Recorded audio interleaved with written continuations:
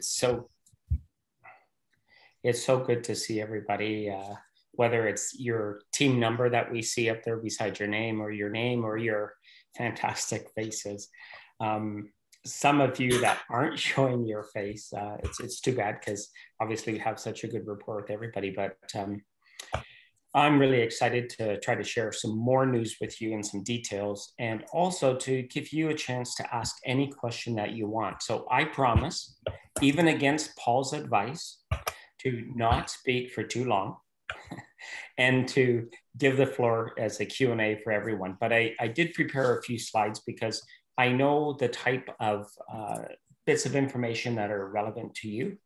And uh, I'm going to get right to that. So let me share my screen and start with this.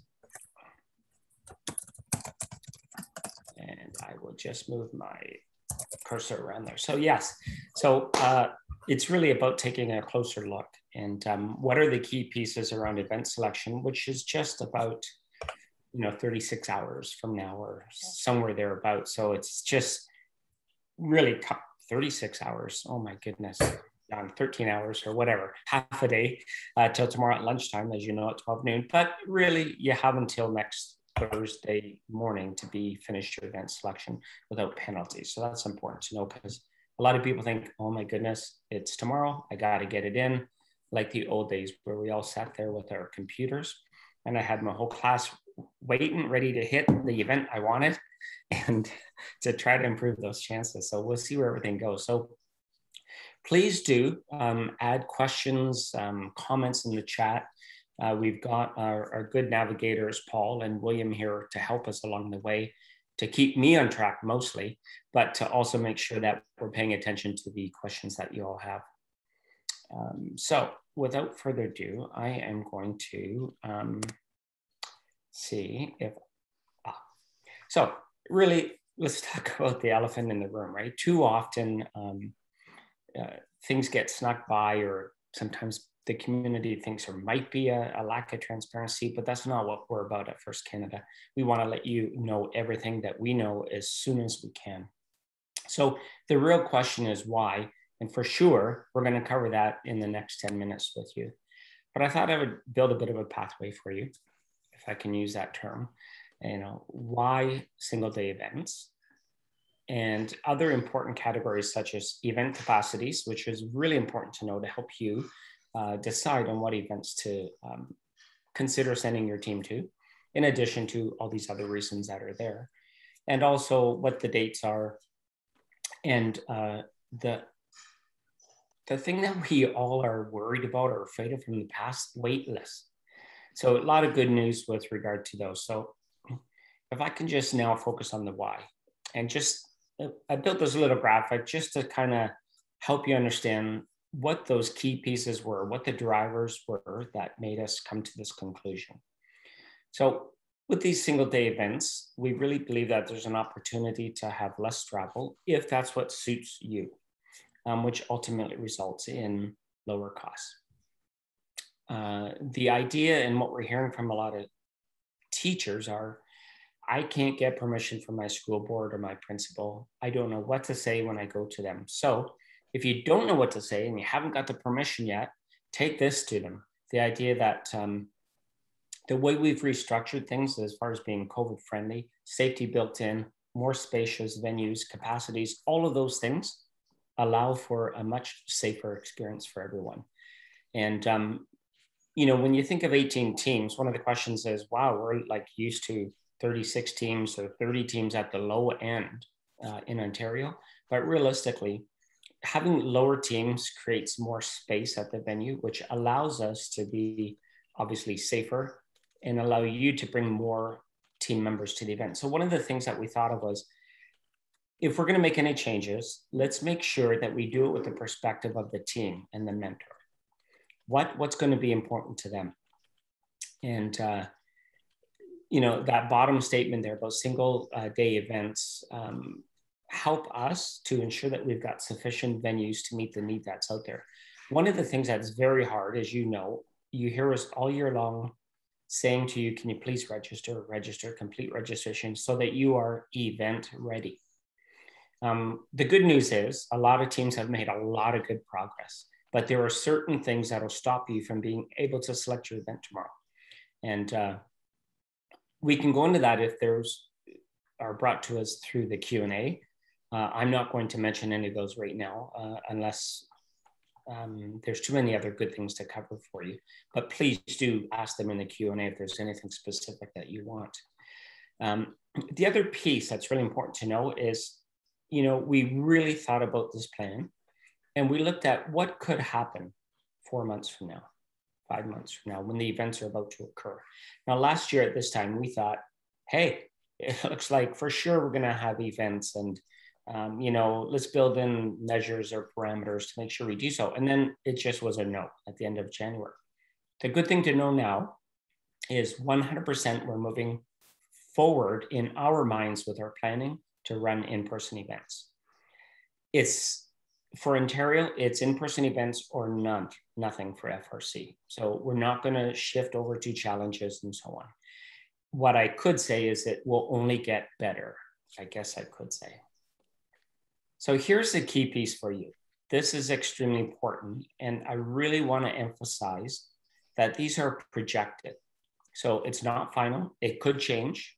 We tried to pick roughly the low end. And when I say estimates are based on about 50% capacity, is 18 teams times that number.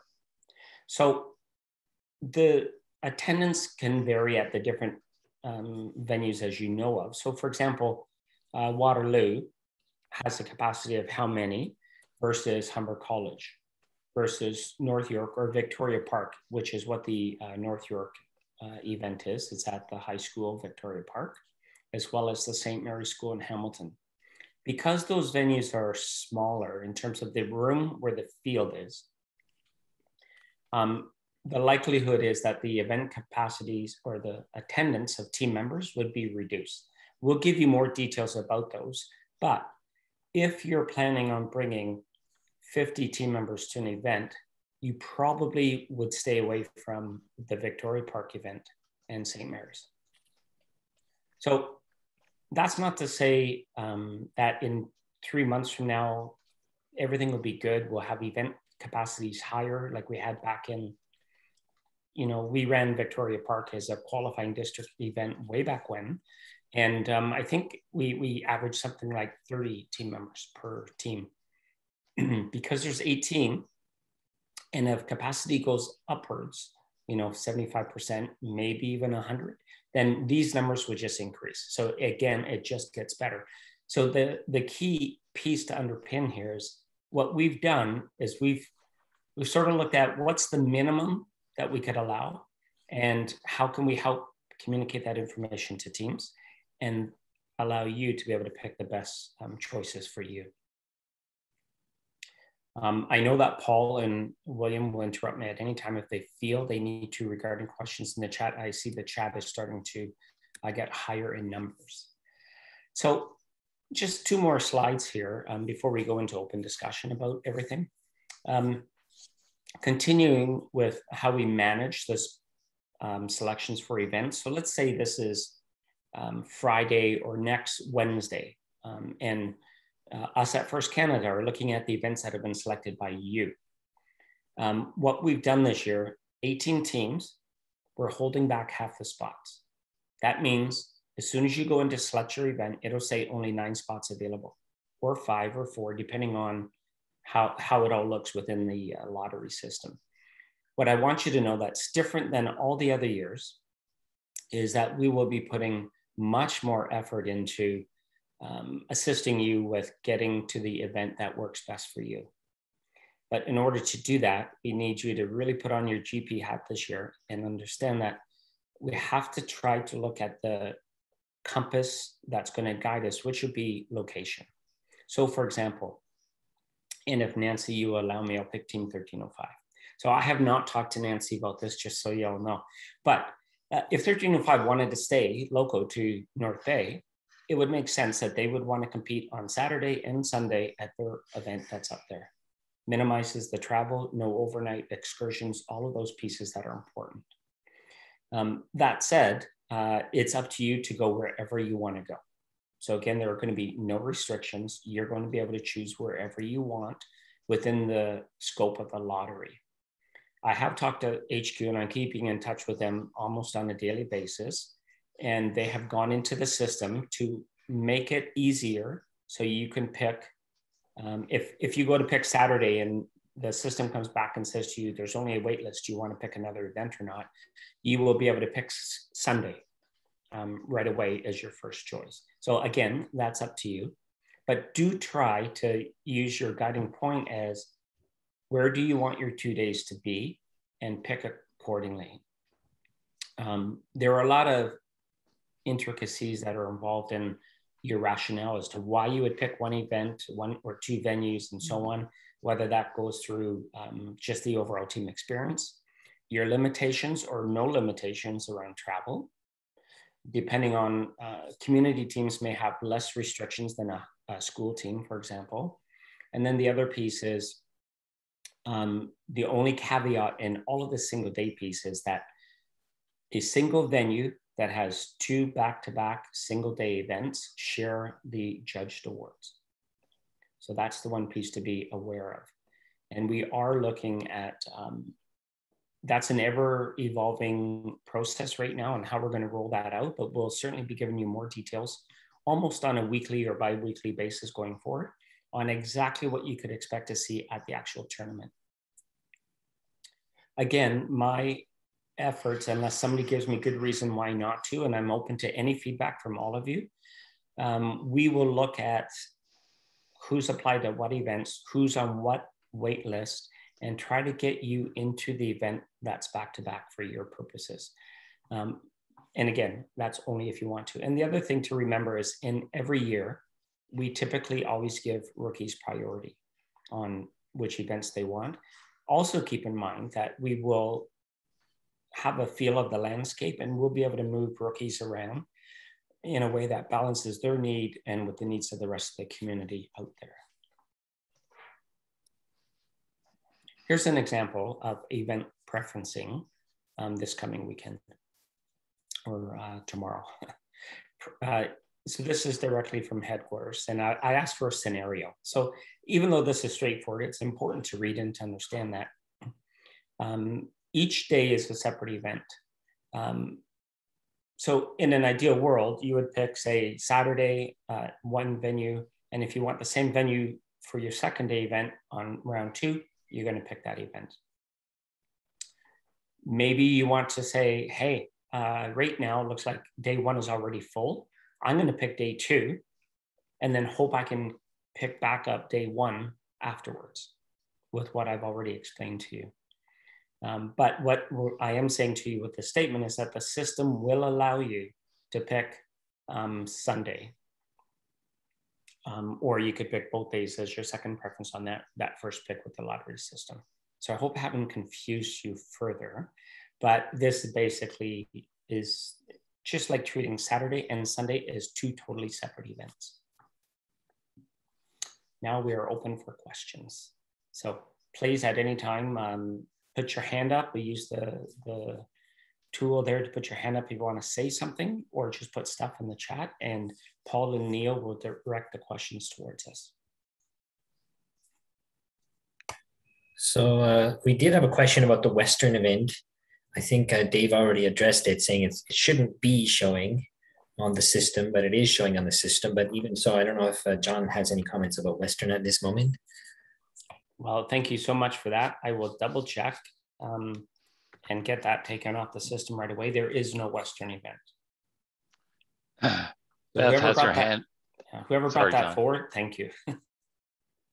and uh, oh yeah, go ahead.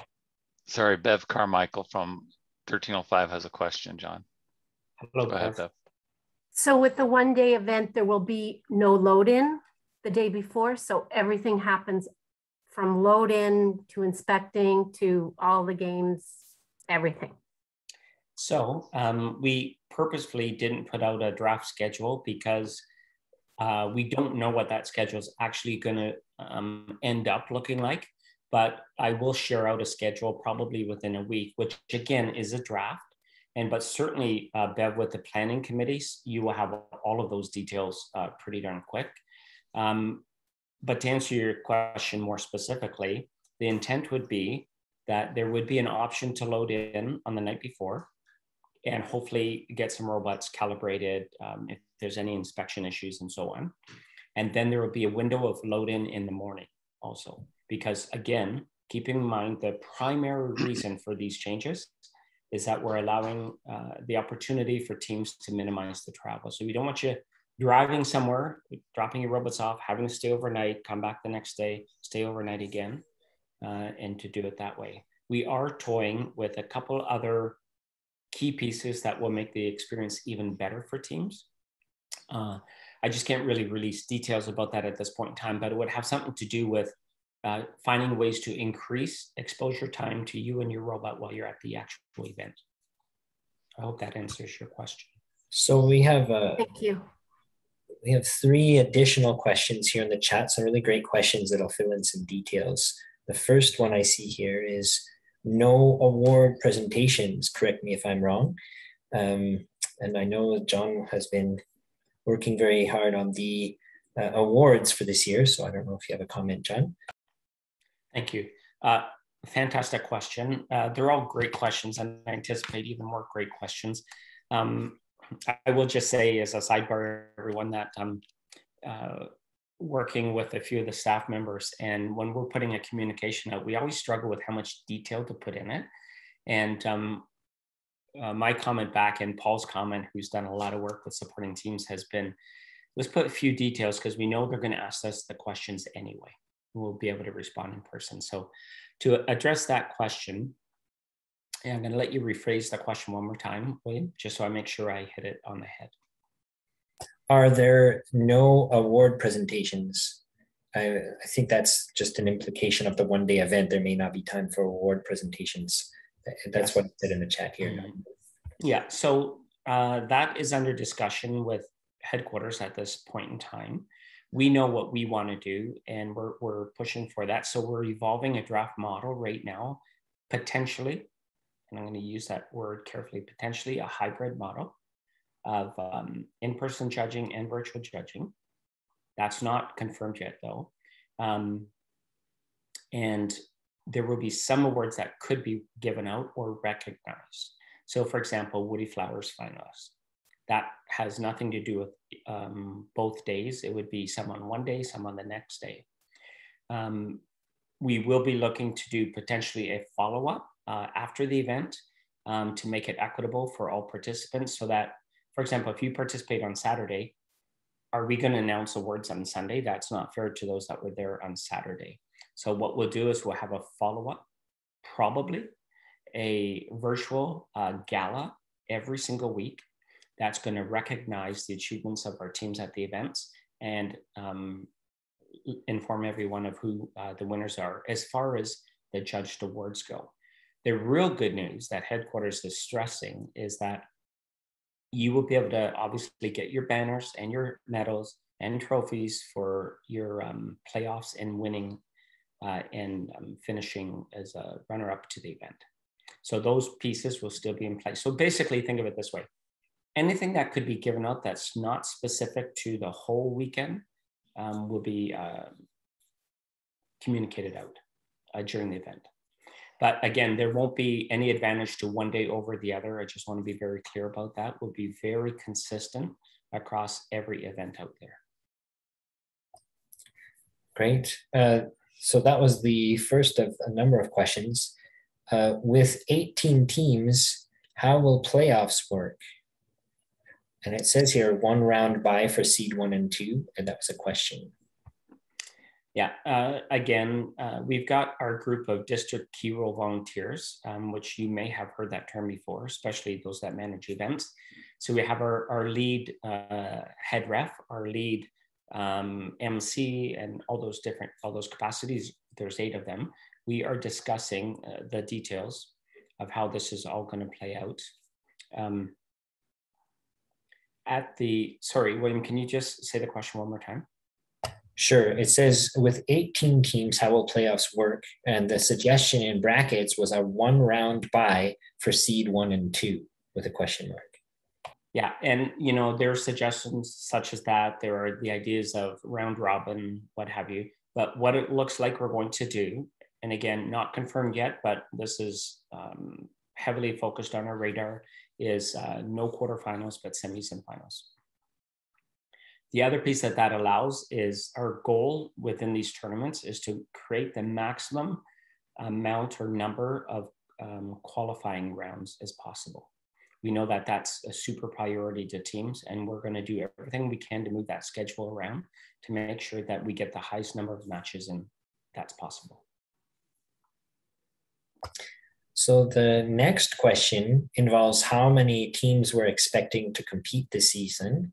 And I think, well, hopefully this meeting will help us because there are about 30 teams that are uh, hesitant uh, just because they need some more details to bring to their school boards or their principals. Uh, I don't know if I should ask John or Paul about this as we were prognosticating about this today.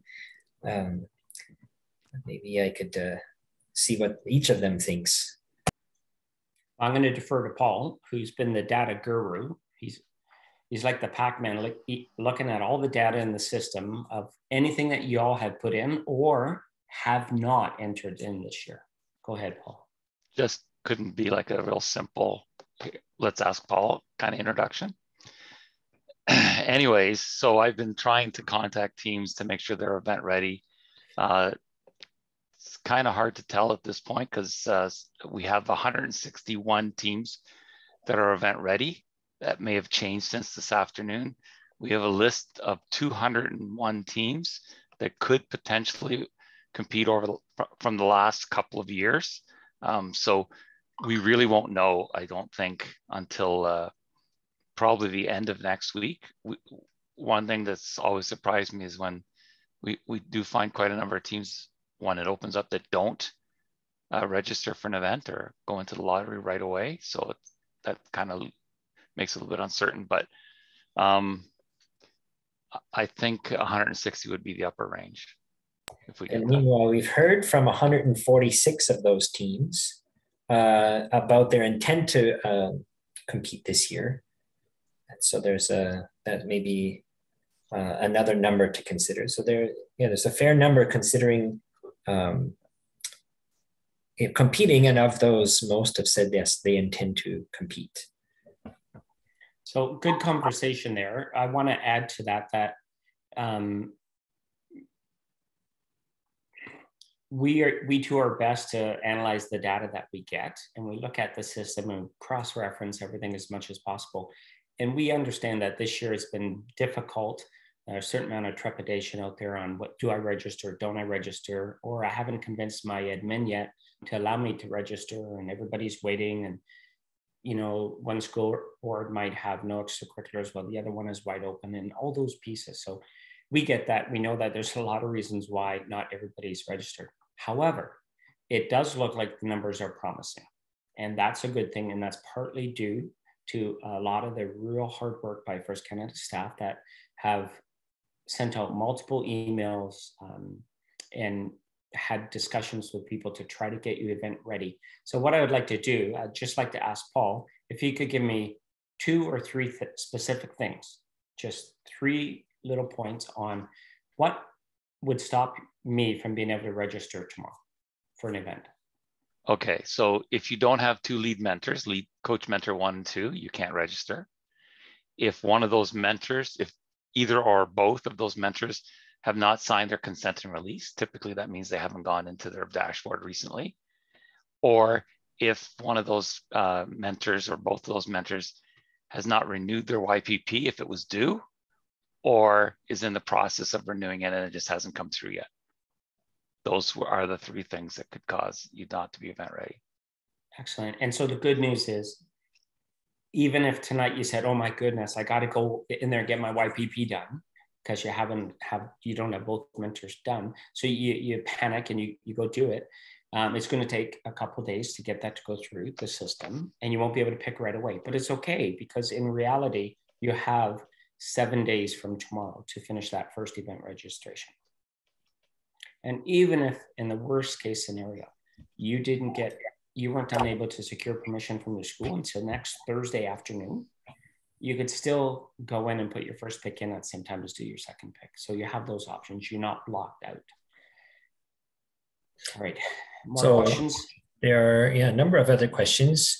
The next one concerns video feeds suitable for offsite scouting. And that plays into a very nice element we've been discussing here at first strategies to make it very inclusive, regardless as to whether individuals are able to attend in person or offsite. Yeah. Um, so right away, when I put my team hat on, I think, okay, what does that mean regarding how many people I can bring to the event? So let's just say it's 20. Do I need to have three scouters? That's now leaving me 17 people to do other tasks, another game team of five. That's and so you start to see how the numbers dwindle quite a bit. It's up to you. Obviously, you can do whatever you want on who you make up those 20 or 30 positions, what have you.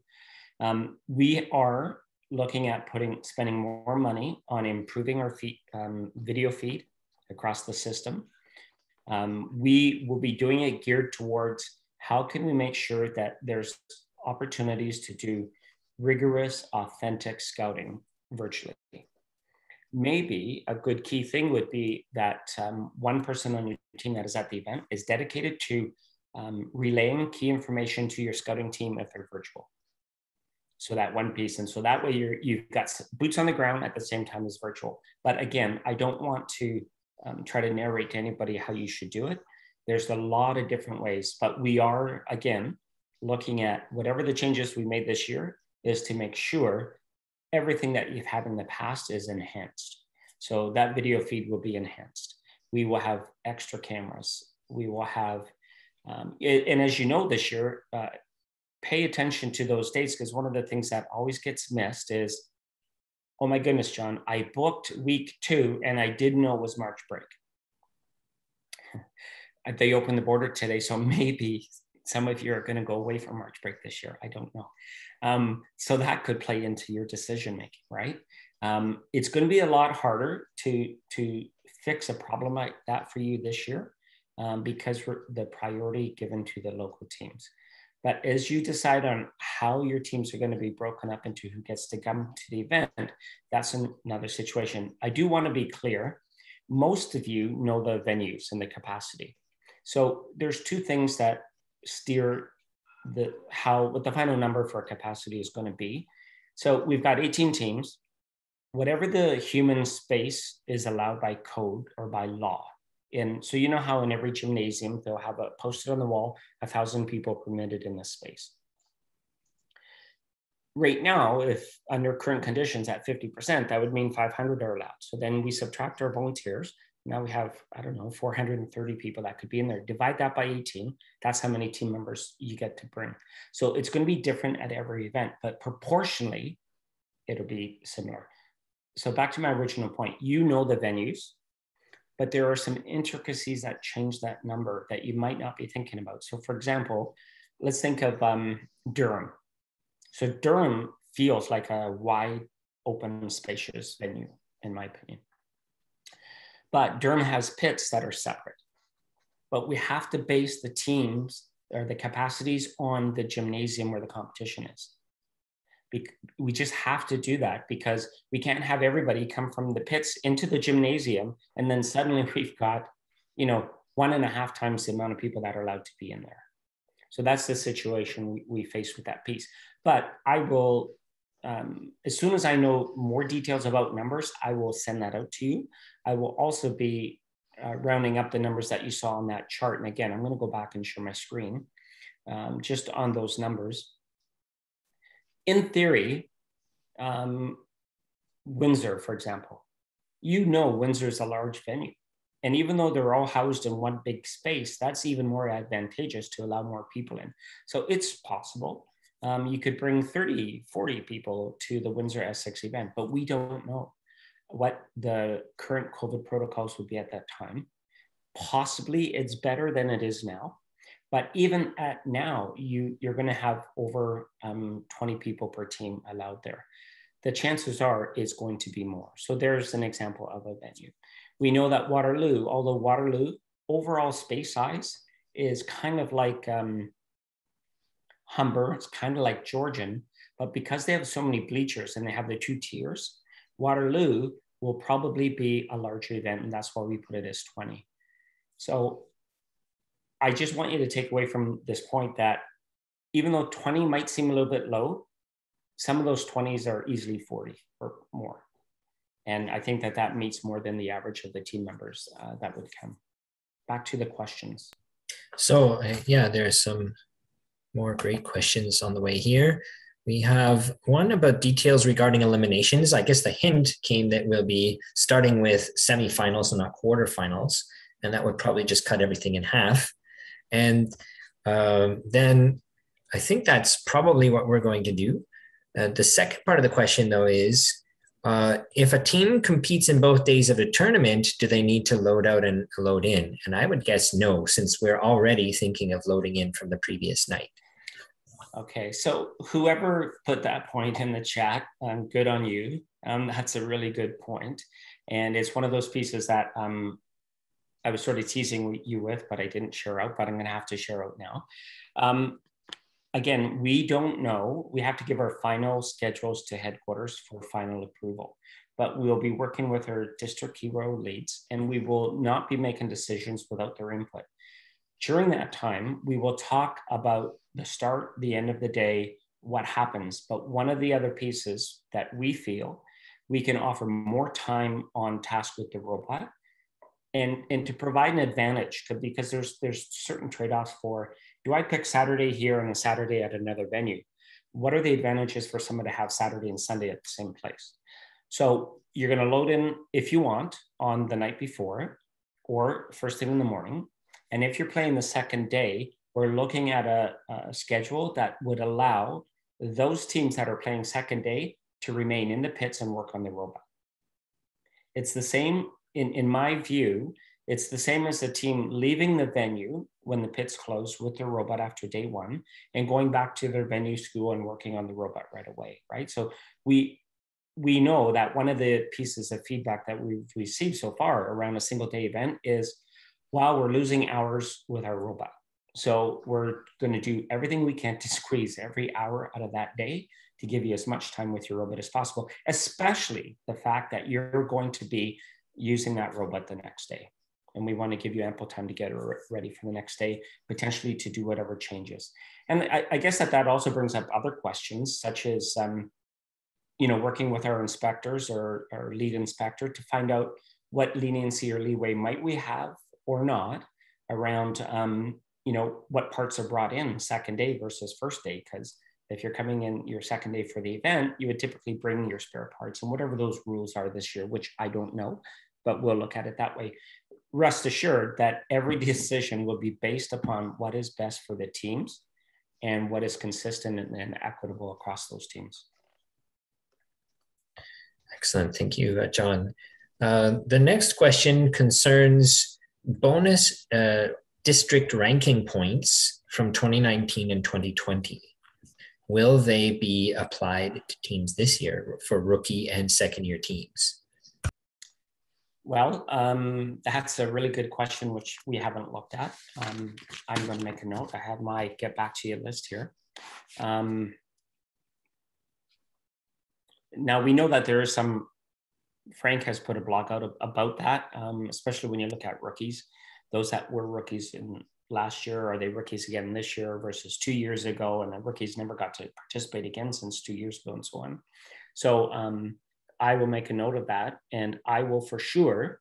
Um, we're going to do another session like this next week to make sure that you're as up to date as possible before you make your second picks. And I guarantee I'll have an answer for you then, or we will send out um, maybe an update through this same distribution list uh, so that you get that information sooner. Um, hope I might have that information for you later tonight or tomorrow. Oh, thank you. And we have the next uh, question about how many practice or qualification matches should teams expect?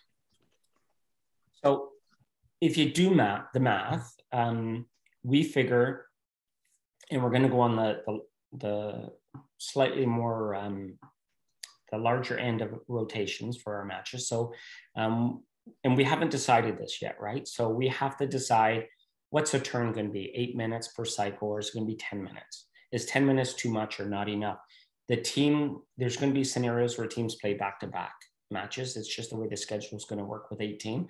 So we want to give as much time as possible uh, to those teams. So we're going to try to um, build in as much time as possible. As far as practice matches go, yes, we are thinking that there will be a segment in the morning. And again, this still has to be um, reviewed with our district hero leads. However, um, the intent is to have uh, a period of practice matches in the morning directly uh, prior to the um, or, or, post driver's meeting. So that driver's meeting is going to be right off the hop. Doors open, say, and within 15 minutes, it's a driver's meeting. And we're going to talk about that, and we're going to go right into um, well, sorry, there will be a bit of time, obviously, because teams are loading in in the morning. But the idea is simply, as far as numbers go, uh, 30 minutes would allow us a full rotation of all the teams to have um, participated in practice match. Can we squeeze in two practice matches? We don't know, but would you rather have more qualification rounds or more practice matches? And that's a trade off that we're going to have to uh, get a clear cut answer from our FTAs on what's the best scenario um, in terms of getting teams ready so that we have uh, as small amount of um, slowdowns as possible at the beginning of the day. Keep in mind that with these one day events, um, we, we've got to build in measures so we're not waiting two hours to get started because we had some faulty issue because that would be a disaster, right? In, in the scenario of a one day event. But we'll obviously, we've got the right people to work through all these problems and we'll do our best. All right. So we have now a general question for everyone, and we're looking for of the people here, which school boards have given the full approval to compete? We'd like to know that as well as sometimes I speak to teachers in the same board and I get different stories on the same day. Interesting. Um, so even if I was to say what I know, it could change tomorrow. So I don't know that there's a point in saying it. What I will say to you is I've had a couple mentors reach out to me and say, I'm meeting with my administration and I don't know what to say to them. How can I get them to? And one of the, the questions that was tied to that with the mentor was, um, could you tell me um, what all the other school boards are doing that are allowing their teams to participate? And I, I didn't have a specific answer because I honestly don't know exactly. What I do know, there are more boards that are more or in a better position right now to state that yes, it's fine, it's okay to participate. But then there's the other extreme. There's a, a particular school board that has said um, you can do whatever you want to the teams. So again, the the the spec, spectrum of the gap is very very uh, large. So hopefully it's going in the right direction, given that full capacity was given to very large venues in Ontario recently. And I think that ties into the next question about the capacity limits. And mm. well, we really hope that they won't still apply in the spring. But if they do, can we use some of our capacity to bring in a sponsor? And uh, well, we really hope we don't have to come to that. But uh, John, that's that's uh again interesting and intriguing because um, as you all know our first community is very intelligent and they'll come up with ways to do whatever they need to do.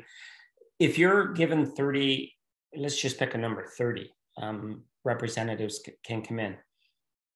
Go back to the days of the crescent school event. You will be given 30 wristbands so you can allocate those wristbands to wherever you want and um, that's not final yet, but that's just a way of trying to manage the COVID piece, right? Because what we don't want is accidentally um, four people are running into the pits, and when you get stopped, you say, "Hey, where are you going?" Oh, we're we're the shift change for the people in the pits, and we're going to come out.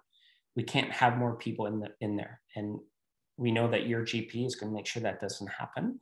But for sure, you're not going to be able to go there unless you you have that um, you check with your span or something like that. So we, we really have thought this through to the nth degree. However, I'm sure there's lots of stuff we missed. And please either put in the chat or email myself or William uh, any ideas that you have. We're, we're wide open to suggestions and we'd be happy to, if you come up with an idea we haven't thought of, for sure, we're going to implement it if it's better for teams. So thank you. We're now down to a, another question about the district points system. And I have a feeling we haven't fully uh, reconciled the point system and our one day events yet, unless you have anything else to say about that, John, that might go to our uh, get back to you later list? Yeah, um, for sure. I can't give you a clear answer on that, um, but I guess I could say um, we're working on it. And uh, again, we're working on it because we we don't settle for um, anything that's less than what's best for the team. So we're going to be able to that that's in that gray area, kind of like a um, you know the the big void between the two cliffs kind of thing where we think we know what we want to do but we just haven't got approval for that yet and when you're looking at what your needs are and where you're picking for your events um, the current situation as it stands right now to be totally transparent is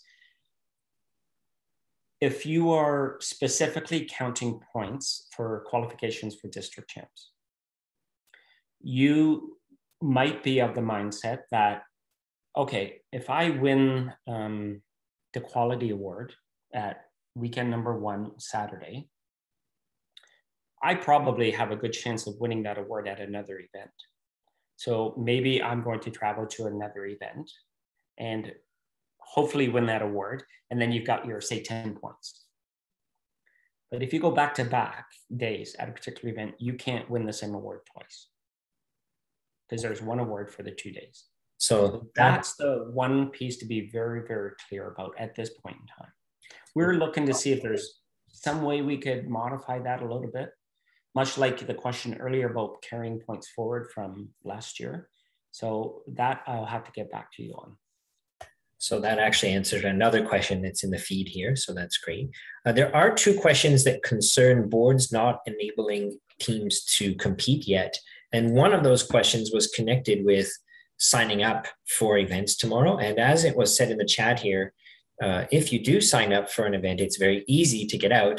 But if you don't sign up for events, then it's quite difficult to get into an event, especially if it's full. So it is wise. You have quite some time to pull out all the way to January 8th um, if you want to pull out of the uh, events this year. And hopefully by January 8th, we'll have a much clearer uh, understanding of the direction we're heading for March and April. So, yeah, so thank you, William. That, that that's a quite a good response. Um, just to add to that a little bit, um, we know that situation exists out there. We know that you might want to pick an event, but your admin has not given you approval yet. So what are you supposed to do? So that's the other good piece about this model is we believe this builds in capacity for an abundance of spots at our events. And what I mean is, um, I know that might be hard to believe when you look at, oh, come on, John, Durham typically is sold out right away and it's got like 40, you know, we used to have 40 plus teams at that event. How can you say that there's going to be spots available? Well, as we go forward, the number, we really have 18 events, 18 single day events.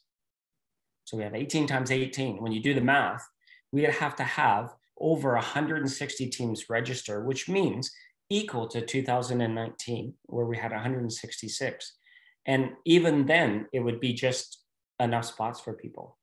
But there is, we, we have built in some measures to try to help if that situation arises. And um, I really can't say much more than that, but that is definitely on the radar and we will be looking to um, serve your needs, even if you know something happens and you can't make a decision until three weeks.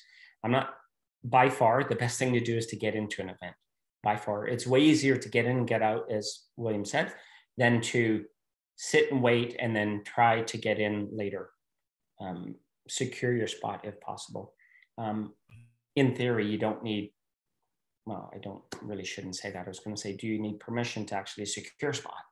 Um, it's it's always about the permission to actually go to wherever that spot is, right? That's where the permission lies. The uh, next question is about the provincials, and I heard some chatter about that today.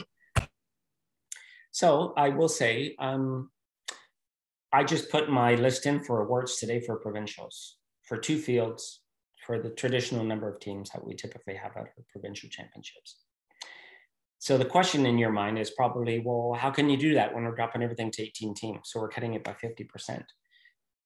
Provincial championships is a very large space. The capacity there is huge. They have 5,000 seats there. So the capacity is more than 5,000. So when you think about it, we actually could run with even more teams at the provincial champs, even at a 50% capacity due to COVID.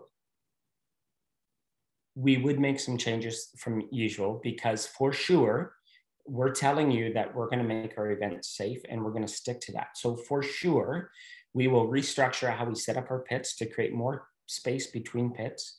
In all of the venues, by the way, um, we're going to again appeal to your GP, but the intent would be to have your, your pit space, extra space, and then pit, extra space, pit. And so that we're building in that capacity of spacing and distancing as much as possible through the whole venue. Um, but again, back to champs, think of district champs almost as normal pretty much normal. That's how we're planning it right at this point in time. I conferred with headquarters, yes, two fields. And even if for some reason we had less teams at district champs, we're still looking at running two fields and so on because we have such a tight timeline to turn all those matches around. However, keep in mind, just like the events, we haven't gone through the final details and worked through the collaboration with the district hero leads. And that's going to happen. And after those discussions, that's when you will know exactly what the numbers are. But we're planning for normal district champs numbers. Well, that's a really nice thing to hear. Using the word normal is a very good thing. And, and in person. yes. Um, the question about the deadline to get out of an event currently it's January 8th. That's the pick up your kit of parts and robot base day. If you pick up your kit of parts uh, on the kickoff day, that's an indication that you are committing to uh, compete financially. And if not, then the full refund is available if you have not picked up your kit of parts. So January 8th. So we have some time uh, yet to um, get a full refund on the fees. Um, then, William, William, just on that point, I just want to add that as um, however that's being received by you, the message about January the 8th, um, keep this in mind that typically it was roughly the end of November. And um, then we would order a kit shipment coming up to Canada. When that kit shipment comes to Canada, um, that was the drop dead piece, right? Uh, in 99.99% of the situations. I mean, of course, we're always going to try to mitigate on your behalf and to support um, something that's terrible that happens.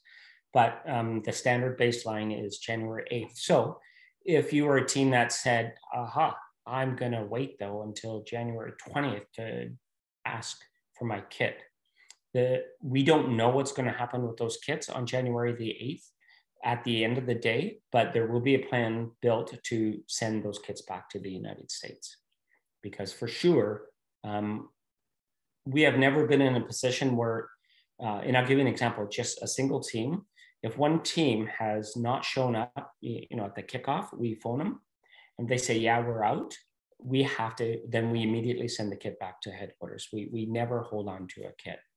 Um, or we hold it for inventory for a couple days in case your kit was missing a part. We take the kit piece out of that kit and make sure you've got what you want before you send it back to headquarters. That said, another key point that's worth mentioning now is um, we strongly encourage you to not do my site kit shipment. Uh, it's very important that Ontario has the ability to control the entry of those kits into Canada.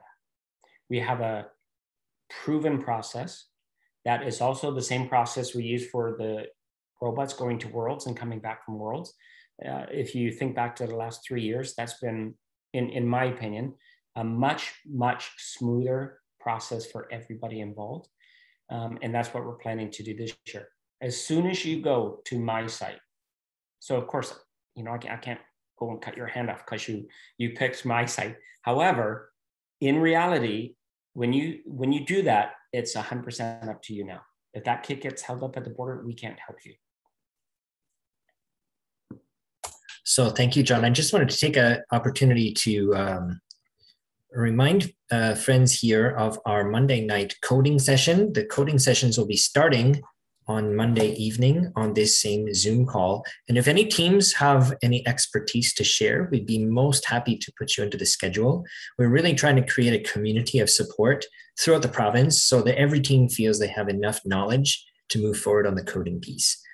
And uh, the first of our series of coding sessions from now till the mid December will start on Monday and then uh, they will continue on into the build season at the end of February. So just a, little invitation if you feel your team needs coding or if your team has something to share about beginner or intermediate or later after the build season starts, more advanced coding. Um, the next question, um, what if a team wants to have 20 new uh, participants on the second day of a two day weekend on the same venue. And I would guess there, since they're separate events, you can have separate team rosters. I guess there's going to be separate uh, arm uh, bands or wristbands, and uh, so that'll give you some flexibility, especially for those large teams who want to give everyone a chance to participate. Will the first two events be qualifiers for provincials? For example, if you do week one back to back, will that be it for qualifying? It absolutely will. Yeah. Um, really good question again. Um, so depending on the season, when you look at all the events that are listed there, and again, uh, take Western off. That's not on the books. That's not a choice for you. Um, Paul, could could you email right now? Could you do that for me while we're talking? Um, just email Lori and ask her to remove Western. Yep. And that way it's done right away. Um, so uh, yes, you take your points and you get to go once you've done two days. So even if you did the first Saturday and the last Sunday in the whole season, you won't know if you're going to district champs until the end of the second event, right? Just like we do when we do McMaster or when we would do Western University. Um, I will say though, we also believe because this model builds in capacity, additional spots, as I've said to you, it kind of buffer room is the term I was looking for. Um, there likely will be opportunities for third place. Because our goal, again, we would want to fill everything up to give you as much playing time as possible.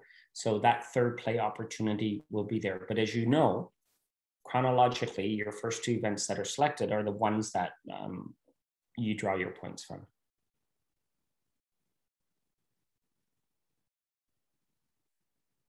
William is muted. Muted. Thank you, John. Um, we have a question about opening up our events in Ontario to teams from outside of Ontario, as that's always an exciting element of our uh, weekends at the FRC events. So let me give you uh, insight into how that happens or that process that occurs. So we do round one of the event selection, which is tomorrow. Then we do round two. And after round two, there's that period of time. Typically, we'd have a couple weeks where um, teams from they would go to third uh, third event options and fourth and fifth. So you could pick as many other ones as you want.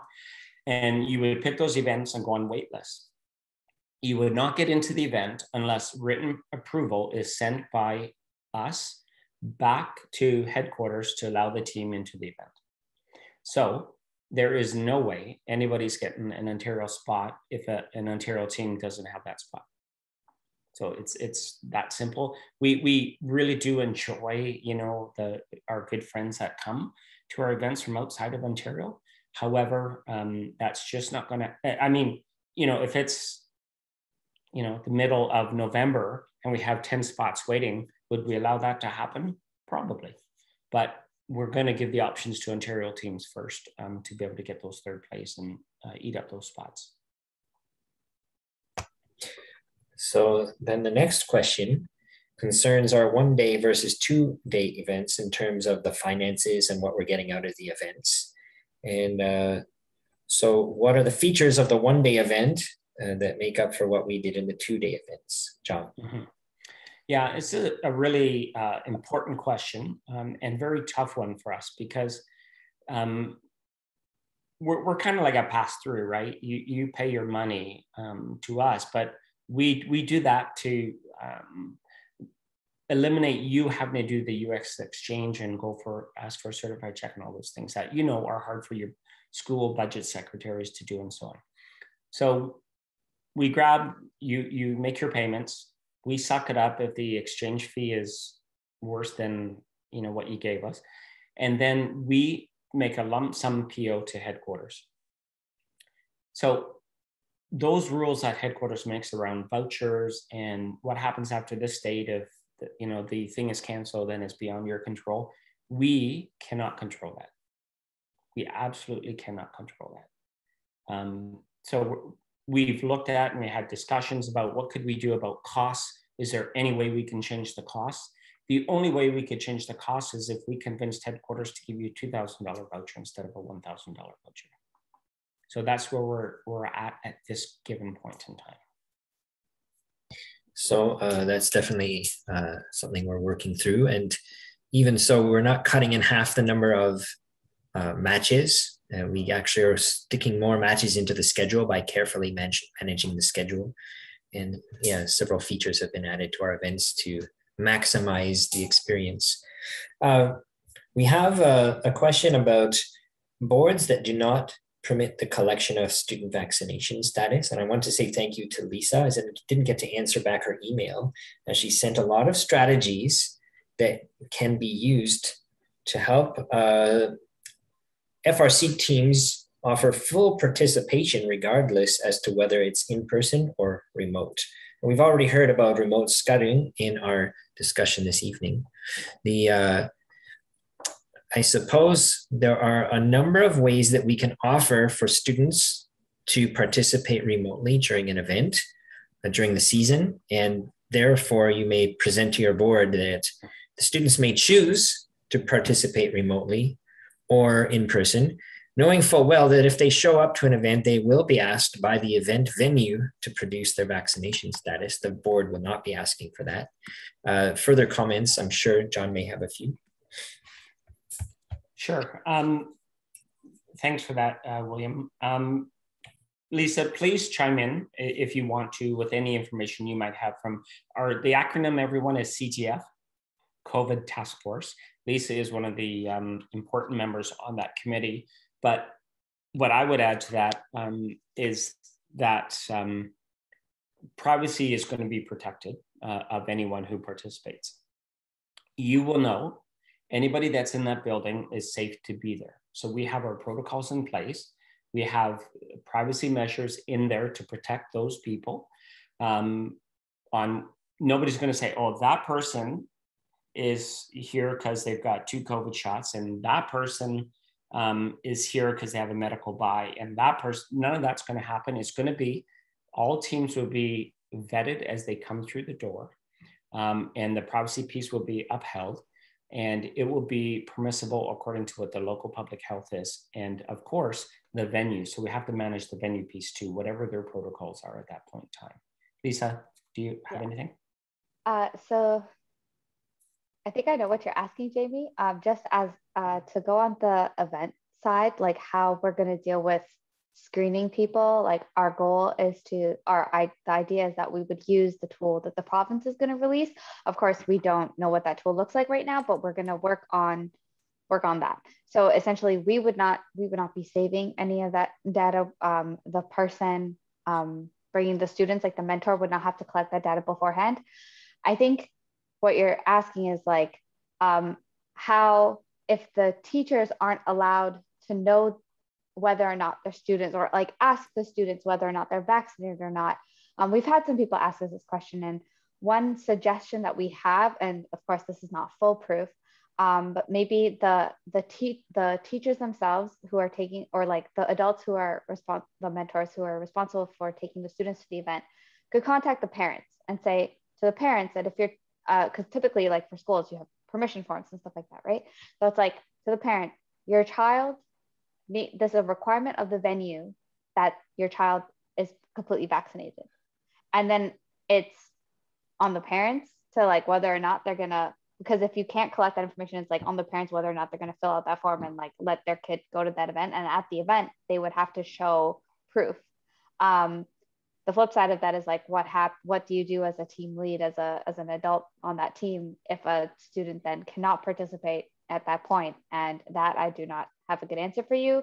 Um, the closest thing i can come up with is like sometimes when, when we go to the border and cross the border to go to champs we have contingency plans that if someone if a student can't cross there's an adult that can take them back something like that. Um, but that's what i have for you yeah, thanks, Lisa. I, again, just to be very clear with everybody, um, we don't have all the wrinkles ironed out or the details finalized, but we're getting close, and we are definitely going to let you know um, what exactly we're going to do in regard to what was just asked. The other piece, though, that was in that question is um, if a board has a certain policy, how are we going to be able to um, work with the policy of that school board that would then allow those kids to participate or what have you, regardless of what the situation is. So we are looking at all of those different scenarios and we will have solutions available uh, for you to hear in detail um, going forward. That's not a, a couple or response, everyone. I just want you to know that's exactly where we're at with things. And um, our CTF is building this long list of key pieces and we're updating it each time we solve one. So it's um you'll see that on that message that went out last week with the message about the 18 team events, it's posted on our website. You'll be able to go in there and see some of those key pieces, but those are being um, detailed even further going forward. So we, we will get back to you with um, um, the full details on that. So uh, there was a question about eating food at events. I suppose it may uh, still be, you probably are not allowed to have food in the pits. I remember that is quite a rule. Um, but the, uh, I don't know if there are any additional details about this.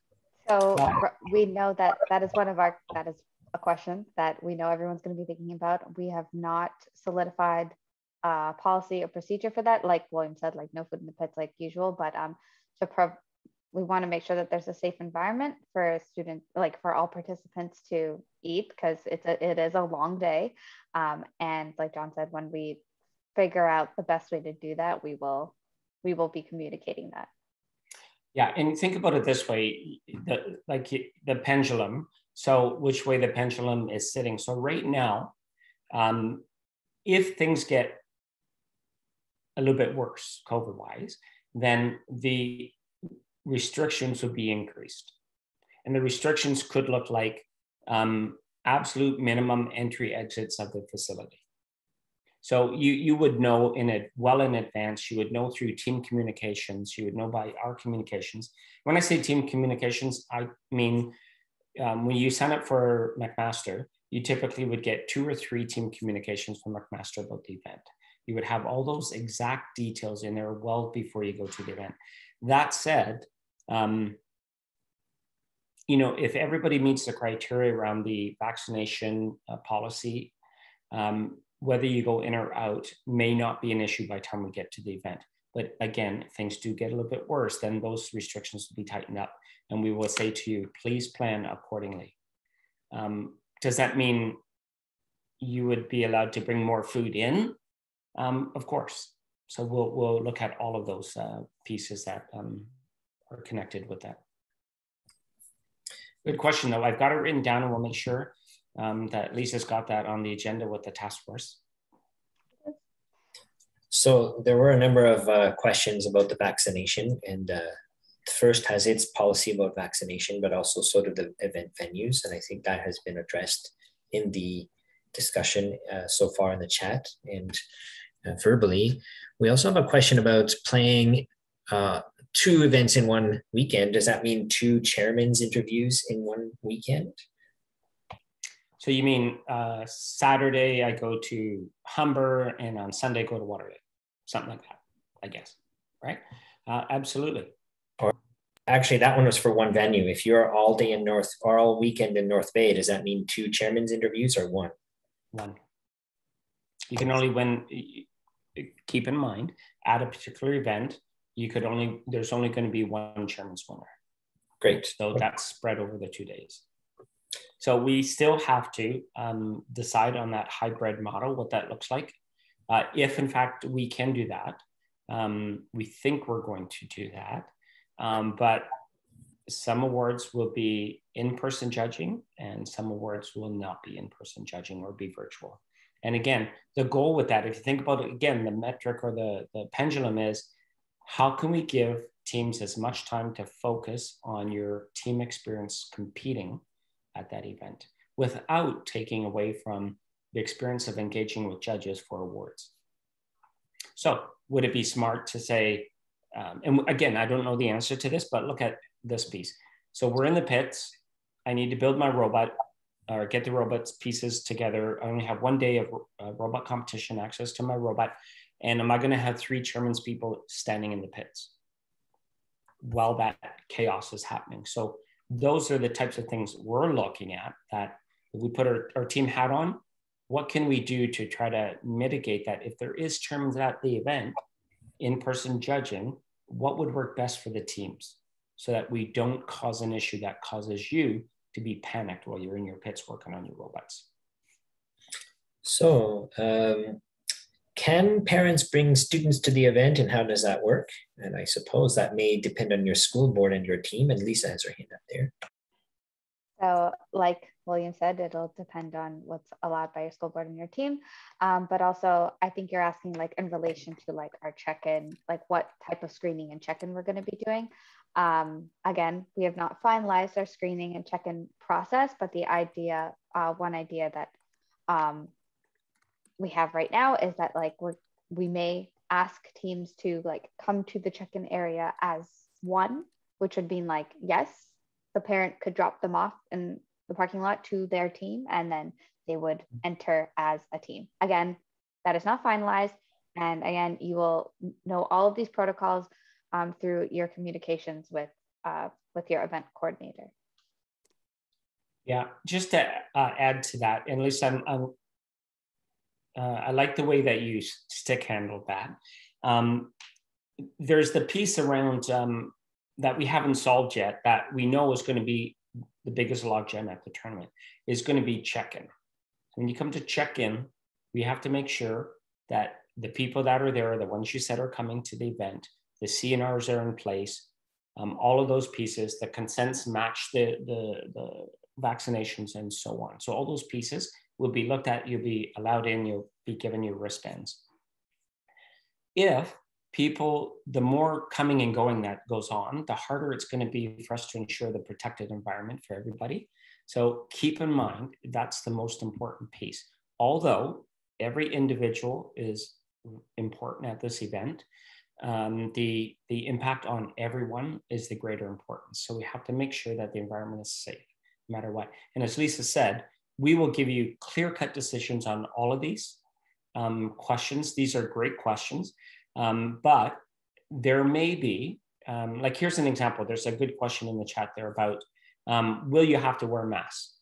Well, what do you have to do right now when you go outside to any uh, indoor activity of any kind, the grocery store, or whatever, you have to wear a mask. So our current position is yes, you have to wear a mask. Will that go away for the event? We don't know yet, but currently it's you're wearing a mask 100% people, 100% of the time. My friend just noted that at the Leafs game, they're optional tonight, so you never know. Well, you never know. What I'm just thinking, uh, what it's going to look like to have the MCs with a mask on while they're saying their thing. So, anyway, really good questions. Here we are. Which medical professionals are part of the CTF task force? The medical consultations and advice is going to be going through the public health and whatever the policy is at a particular venue. So if public health says you could have 75% capacity, or let's go with the Leafs game, unlimited, like 100% capacity, but the venue says 80%, then it's going to be 80%. So we don't overrule either of those two um, governing bodies. The uh, next question is about if we can only attend Durham. Well, will ah that will limit the team to awards that could possibly win if only one set of awards over two days.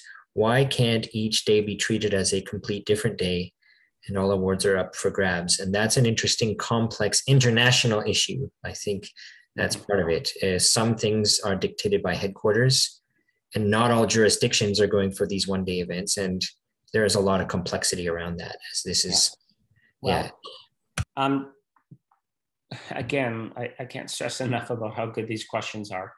Um, we sincerely want you to know our position, First Canada, is 100% that's the number one issue we have. Number one, we want it to be a single set of awards for each single day. That is not the position of headquarters and how they are trying to balance the two day events that exist out there. This, the few single day events, there's only three regions currently with uh, single day events. We are one of those three. And the, the feedback that we get is um, it devalues the award. So a chairman's winner out of 18 teams and a chairman's winner out of 18 on the next day. Um, that's a hard pill to swallow in, in my mind. Um, I want to celebrate success of our teams as much as possible, especially in a year like this. However, that is what the current situation is. And I underline the word current um, with headquarters. Um, if I'm a team that is looking for, if I'm not restricted on um, travel, I would probably look to do one day at one venue and one day at another because I can hopefully double my points on wins. Obviously, you can't double your chairman's points. However, on those other judge, judged awards, you can.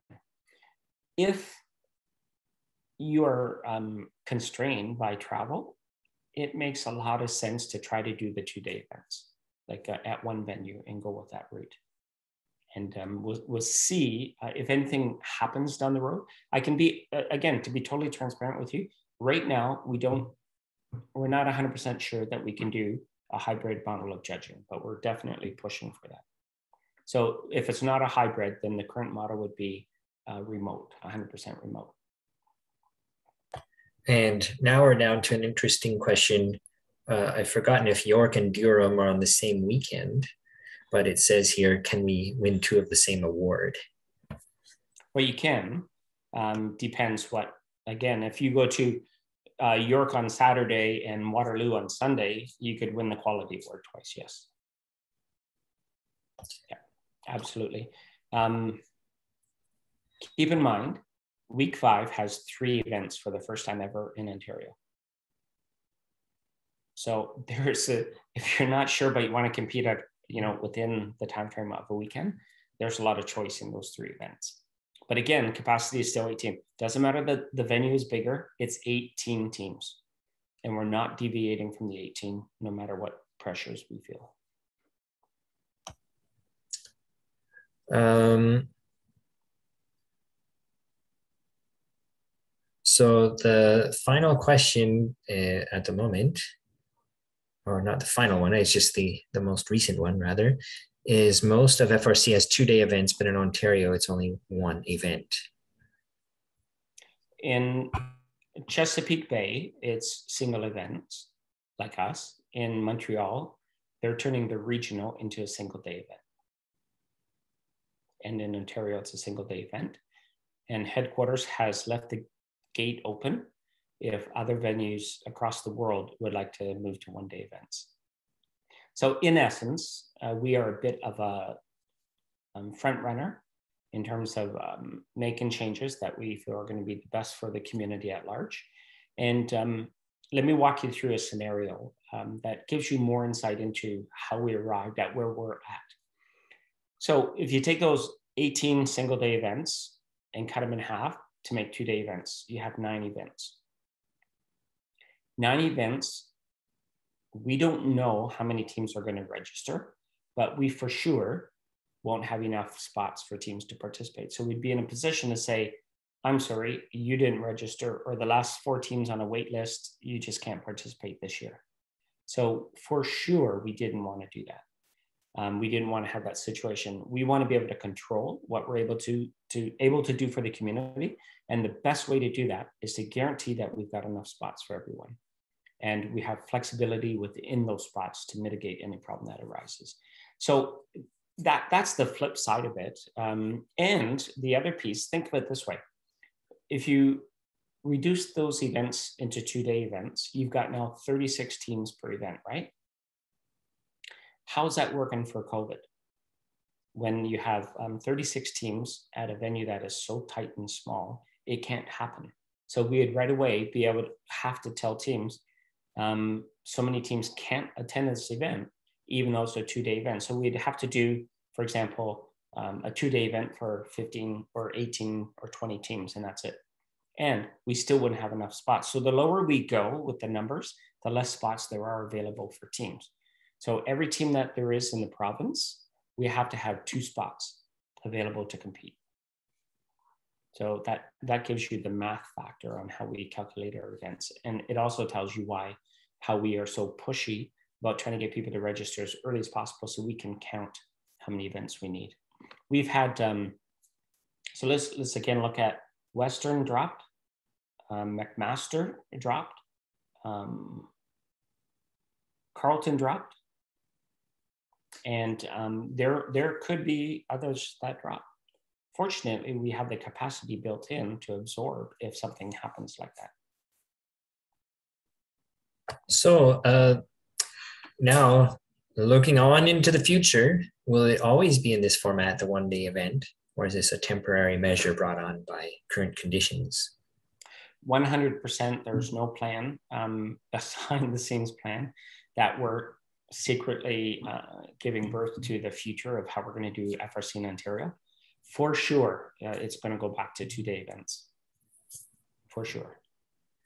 Um, and then, as a continuing of that statement or a extension of that statement for this season, uh, is there any scenario where we would revert to two day events if the current COVID conditions improve? In in this season, no. Yeah what you have in front of you is what is going to be available. Yeah. Um, the only change that I could see happening at all would be um, 170 teams registered, and we have to have we have to find more spots for people to play. We can so, look at the math on that, right? So we have 18 teams, which you've heard me talk about for over an hour. Why 18 teams were good if we tried to go to 24 teams at an event in our current structure, we would not only kill all the volunteers, but the day would just be so horrendously long for everybody involved. And for sure, nobody would be picking back to back days because you're not going to last for two 16 hour days in a row with your team, nor would you want to do that. So, um, the only change that could possibly happen would be us trying to find more spots available for teams to play.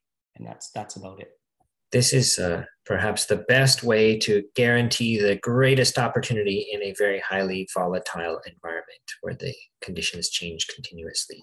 Yeah, we, so, we tr- you're right, William. Like we truly do believe that um, we've got enough buffer room on either side to handle whatever gets thrown at us going forward. Um, and with the current plan, the current model that we've just stated is it's going to stay like this. It's not going to get um, we're not going to revert to two day events. All the only other changes that'll happen, which will be good, is that we will improve upon what we're pr- making available to you within the single day model. Uh, good question about um, repercussions. Um, if somebody shows up, um, whether they're not COVID vaxxed um, and no they don't have the proper um, passing for uh, COVID, or you show up inebriated or whatever, um, we would just follow normal standard procedures and have them removed from the premises. Um, we we can't say to you right now this is exactly what we're going to do, but that is one of those key items that has already been mentioned in our meetings. But we'll be going deeper with that, of course, to make sure that we know and you know that um, it would be very, very tough for anybody to um, get into the facility if they're not cleared. So at the moment, we don't have any additional questions in the queue. I hope we haven't missed any. It's quite possible we may have. There are a number of questions. Um, William, I would like to ask uh, the, the, attendees that um, if there's anything anyone wants to share with us about what your current situation is with your um, ability to acquire permission to register um, or not. Um, are you sitting on the fence and why are you? And um, no judgment on anybody. It's more, the more information we get, the better that we can um, handle these situations.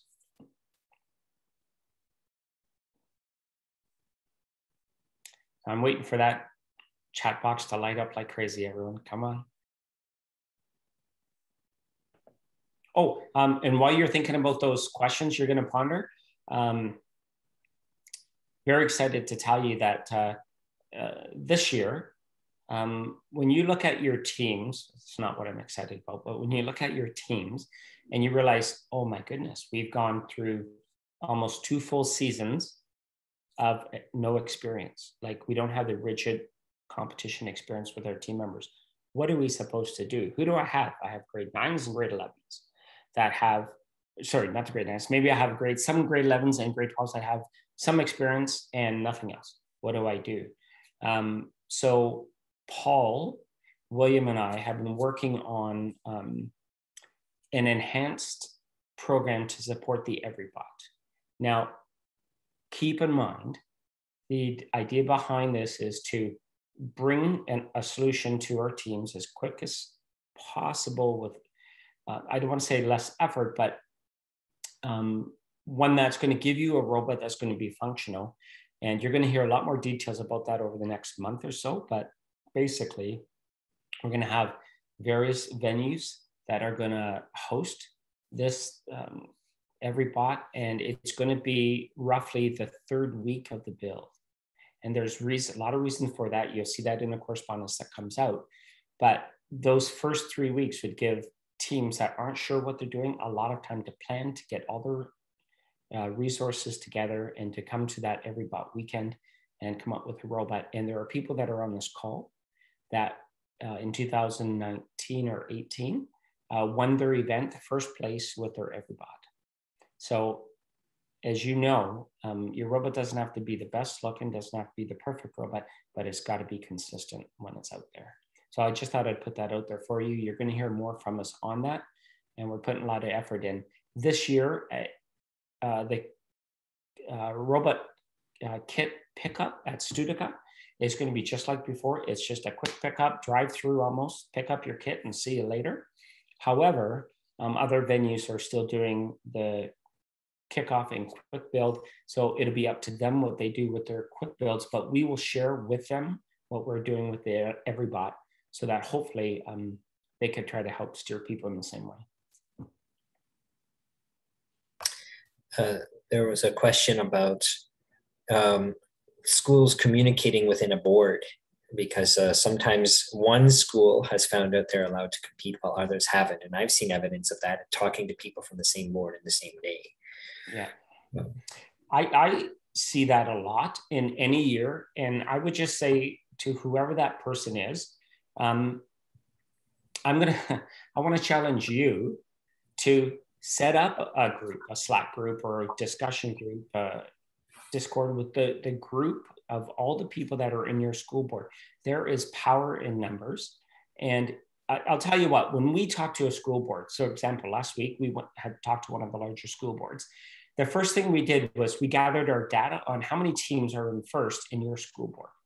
And then we start talking because that says a lot to the school board. So that's one piece. The other piece and so you're going to get central support. The other piece is that the collaboration that can go on that is um, it's so valuable. And if keep in mind this too. So you're in a particular school board school board a um, my teacher can't uh, be involved for some reason but the permissions are neutral within all the schools in the school board so your team could come over to school another school in the board and do work with the robot. And you, you don't have to go through that permission process, right? So because you're under the same umbrella of the school boards, that's a hugely important piece.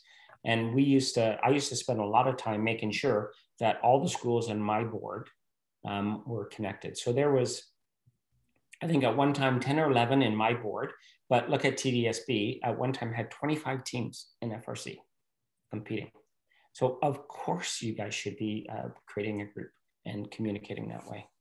So a uh, good good point for somebody to bring up. But again, I challenge you to be the one who spearheads uh, uh, setting that group up. And I would be happy to meet with your group at any time and share ways that um, I have learned on how to get through to the, the root pot of money in the school boards and so on. So that would be, I'm sure, very helpful for you, but it's true. There are a lot of um, different ways that boards operate, but the pots of money are there and um, how, how to access that, especially when you come from a group of all the people in the school board.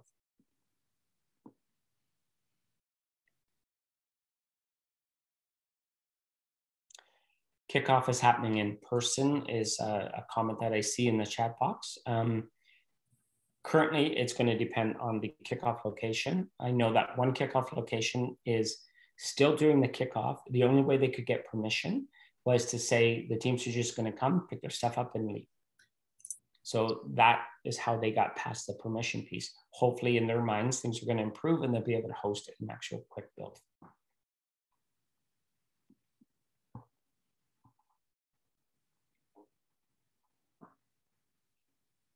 The other piece too, I would offer you, if anybody is um, struggling with um, administration and um, it, it, would be helpful, I would, I would be pleased to, join a call with your admin, um, phone call, Zoom call, whatever you want uh, to try to help communicate what we're doing so that they hear it from the horse's mouth, so to speak. And that might alleviate some of the, or minimize some of the hurdles that could happen out there.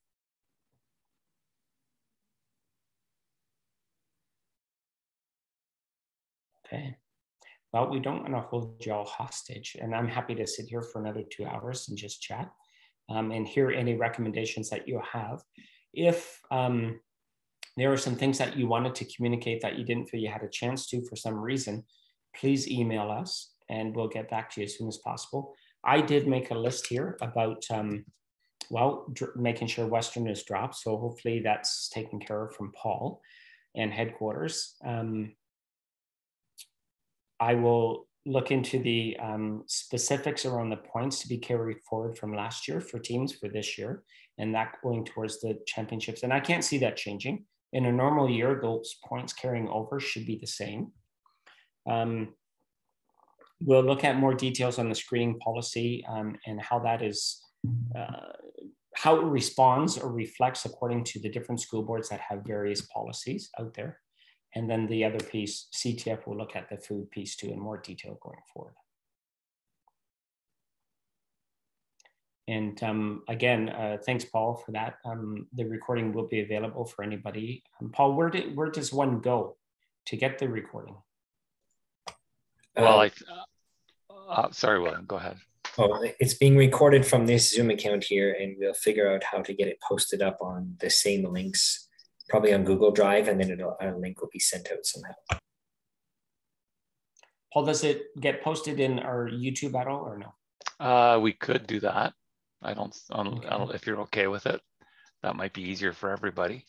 Mm-hmm. Then we don't have to. Or, or both, because I, I think we're going to be um, sending out another uh, communication out to this group and everybody else that's on that list. We're not going to exclude anyone um, of all those teams that are registered, so so that we can give you more details about the questions that were asked tonight that we didn't give you full answers to, and inform you of anything new that develops. Um, we really are working on a lot of key issues that, um, if changes happen, will be improved for you, and we will definitely let you know as soon as we know what those situations are. And again, um, it's going to be crazy for the next 10 days for you for registering. Uh, what I would say to you is don't hesitate to contact us if you're having any trouble. Um, Paul, William, and I are dividing up the duties just so as an FYI for everyone. If you go to register and you can't, email Paul or William. If you have a problem with waitlist and those types of things, email me. So I'm going to stick handle those pieces, and those guys are going to stick handle the others because there's probably going to be a lot of them. And uh, even though people feel that you're fully ready to register, something always goes wrong and uh, people just can't register. But fortunately, you have seven days. Sounds like a salesperson and you have seven days to decide. um, okay, any, any great stories, anyone? Um, seems like it's been so long since we've seen y'all. I, I don't want to say goodbye already. I, I want to um, give a shout out to somebody and center that person out a little bit in a positive way. Um, we have April, who has apparently joined us here in Ontario as one of our um, key FTA persons, people. And um, April, I'm not sure, there must be a lot of other things that um, you do that would be super beneficial to an event. So let's just say, you know, we had like five FTAs at one event and you weren't one of them. What else would you do at that event besides try to help those FTAs? Uh, what else did I do at that event? Um, well, I'm a lead mentor for a team in Ontario now, which is awesome. Um, so I might be with them. Um, otherwise, like, I think it's really great to get to talk to teams. Um, so like team interviews, judging is really fun. Um, you really get to get into like the nitty gritty of the robots um, with the students. And that's, that's really kind of the best part of first for me. So is getting to hear what the students have done. Um, I think it's gonna be particularly interesting this year um, because students are so out of practice, kind of as, as you oh alluded oh to, and we're certainly seeing that on our team. Um, and so it'll be interesting to see kind of how younger students get into it, how older students kind of get back into it. Um, uh, yeah, so judging is a good one. Um, CSA, FTA, um, parking lot attendant, safety glasses attendant, all of the roles are very important. yes. So kind of whatever needs to be done to run an event, I am happy to do yeah, just roll your sleeves up and do whatever's needed. Well, we're so so thrilled that um, when I heard that uh, you were coming to Ontario, um, seems like we're stealing the good ones, and uh, um, we're really thrilled to have you for sure. And uh, um, I I know that we have full confidence in you doing any uh, job because just you being there is going to help our events. So it's fantastic, and thank you for speaking oh, up. Also, absolutely flattered. Yeah, so it's nice to hear from you. Warm welcome. I'm excited to be here yeah. So uh, everyone, um, you might have seen April at some of the events in the past. She's helped out a lot, but I can I can say it mostly with um, the purple hair. Mm. So kind of like um, Lisa, but purple. yeah. So again, thanks for sharing that, April. That's fantastic. Um, I'm surprised she's not wearing all that First Canada swag that I know she owns. I do have it. I have an apron. It's in the it's in the kitchen. Um, oh, I'm just not cooking nice. right now, so it's, it's put away. Nice. But yes, I do have quite a lot of First Canada swag, and everyone in First in Texas was very jealous of my cool First Canada swag. So oh, y'all are doing something right up here. Yeah, well, we're looking forward to your expertise too, because I know you uh, you were participating in the Texas off season off season event, um, so that's going to mm-hmm. help us, of course. And um, the uh, what was I going to say to you? The other piece about oh, I am so excited to see what's going to happen with your team with uh, the two new leads that are on that team. It's just uh, can't wait. Um, that's all I'll say about it because I, I can't show any favorites to anybody because they're all yeah. my teams. It's, uh, it's gonna be it's gonna be a process. Um, so COVID has uh, affected everyone pretty much across the board. Um, so I think it'll be a, a, really true demonstration of kind of like the resilience of first teams to come back from three, th- almost three years off of this. We're coming back with a handful of grade 11s and 12s um, and some spunky grade nines, and like that's going to be it. Um, and so I think it'll really demonstrate the resilience of first teams um, and also hopefully some gracious professionalism and kind of helping others out across the board. So I think this yeah. is going to be a good year. It's going to be a different year, um, but I'm really excited to get back to robots. Nice, nice. Can't wait. Mm-hmm. Um, anybody else want to share any uh, comments, stories? Um, what's going on in your area? Um, I see uh, um, the London, some of the teams from London. Um, done anything you want to share with us? Did, did you have any success with your school board recently? Not to call on anybody and center you out, but go ahead. Thanks for calling me out, John. Um, no, it's, it's just good back, good to be back. Like TVDSB is allowing us to meet in person with students, and so you know our meetings are back. Wow. So that part's exciting. It's it's nice to be working with the kids again. I'm currently talking to like the senior admin of, uh, of the Thames Valley District School Board and hoping that we can get approval for um, competing in person. Um, that's, that's why I asked those questions. I was curious if there is any boards Absolutely. out there that have given approval yet. Um, but it's a process, right? We'll keep working at it. I got till January 8th, I hear, to, to get that out, sorted Okay. out. So fingers crossed. Yeah, yeah. And you know, if you are having another meeting uh, coming up down the road, a week, two weeks, month, whatever, and you want more ammunition, um, connect with me again um, and say, I need this from you. And I will make sure I put something together for you that would maybe help with your uh, cause. Great. That's great. Thanks, John. Yeah, yeah, absolutely. Thanks, guys. Okay. Well, thank you very much, everyone. It's been a really great pleasure to get to meet uh, some friends here from the FIRST community. Uh, some of you are familiar from the previous events and looking forward to meeting the rest of you in person. It's greatly optimistic that we're heading in that direction and uh, hope to support all the teams to get through all the hurdles to be able to compete in person very soon. You know, I, if I could just add, William, um, I'm seeing some of the chat go by and uh, um, congrats to Halton uh, for getting their approval um, for uh, participating. That's fantastic. And I will say to you, because they're also now mentioning about SHSMs, we are doing a lot of work recently with uh, school boards on SHSM and EHS or exploring high skills connections to uh, first, both FRC and FTC. And of course, FTC really hits the mark. And the other, I, I don't know, Lisa, if we should share the excitement about FTC as far as headquarters working with us to map the FTC experience to the Ontario curriculum. So how great is that? And the hope is that that will be done through grades seven to 12. We know there's a lot of hurdles that come with that, but that is just so exciting that headquarters is on board for that. I can imagine how excited you are, Lisa, with that piece. Eh? That's just uh, yeah, it's like it's really awesome that they're like they're going to be working with us um, to provide that because it's going to be a really awesome tool for um, for teams to use to be able to relate robots to their curriculum and give students a really awesome experience in the classroom. Absolutely. Um, and so when Lisa says um, we're going to be doing, we're already, it's already underway. So it has started, just so you know. And um, back to the SHSM, um, we did do a pilot last year with the uh, Toronto Catholic Board, one of the schools where we provided one of the certifications for SHSM or SPE, or as you know, uh, ICE. And we gave them a coding challenge and it worked out very well. And we have a, lo- a few of the big school boards now on track that want to sit down and talk about how we can um, spread the first experience through the SHS program in their schools and EHS. So a lot of great stuff coming down the pipe for everybody from curriculum to curricular connections to making first a part of the in-class experience for the um, kids in our schools.